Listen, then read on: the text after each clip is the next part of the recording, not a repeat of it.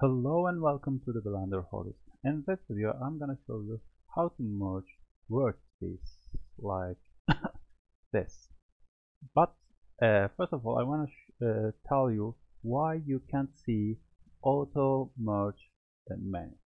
If you are in object mode, if you click here, you can't see object mode. Or here you can uh, you can see nothing but if you go to tab press tab go to edit mode and you can see here your auto merge uh, option or you can see here it.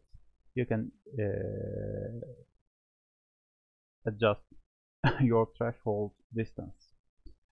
And then uh, I'm going to show you what next okay.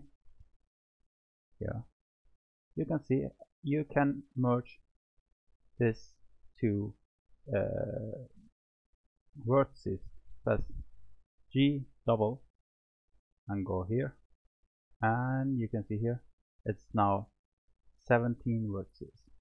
Or you can make this two press this two and uh, press sorry we are okay now press S0 now you can see S16 or make it again S0 it, it's if you uh, press S0 you merge them in between uh, two vertices but if you want to um, take this vert, uh, vertex to here press G double and go here.